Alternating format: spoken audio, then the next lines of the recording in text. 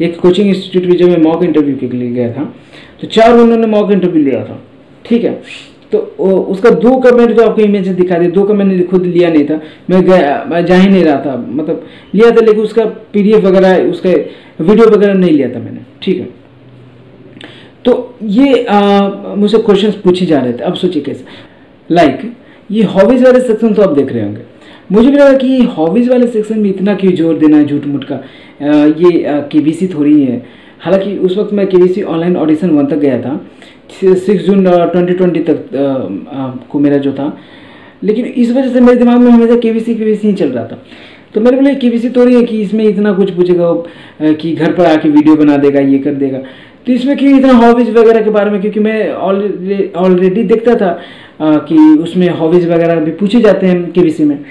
कि क्या शौक है वगैरह वगैरह। तो आ, मुझे कि इतना क्यों एडमिनिस्ट्रेटर बना रहे है या फिर क्या बना रहा है? क्यों इतना झूठ मूठ का मेहनत करवा रहा है? अंतिम में जब अंदर में गया ये सब भर करके मैंने कुछ भी लिख दिया था कि I like spending my time on YouTube I like हालाँकि ये सब सही था।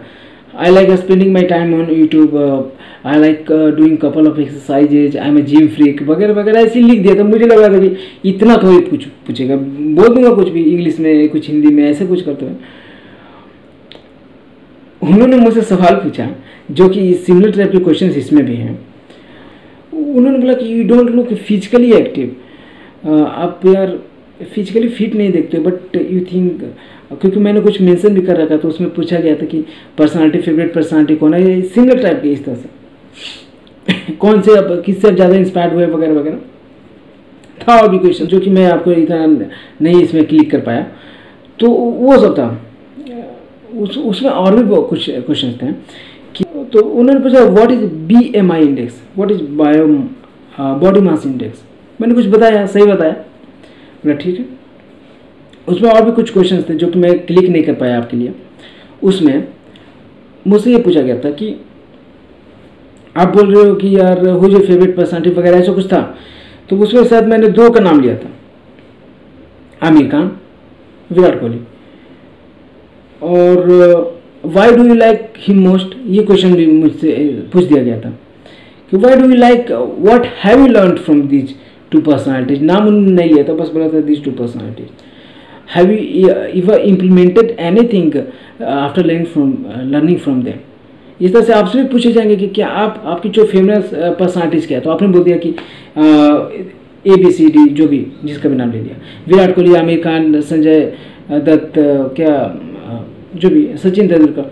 आपने उनसे क्या सीखा? है इसे तीन क्वेश्चन हमेशा पूछते पूछते पूछते पूछते उसको लिए भरना है। सो so दैट कि आप जो भी भर भर रहे हो उसका ऑलरेडी आपके दिमाग में चल रहा है कि किस तरह से क्वेश्चन पूछे जा सकते हैं। तो इस तरह से आपको करना है। सो दैट कि फेवरेट पर्सनालिटी का भी जब आप मेंशन करो तो वो इस तरह से मेंशन हो जाए। ठीक है? अगले वीडियो में मैं आपको जो बताने जा रहा हूँ क्योंकि अभी ये पूरा सेक्शन में कवर करना है।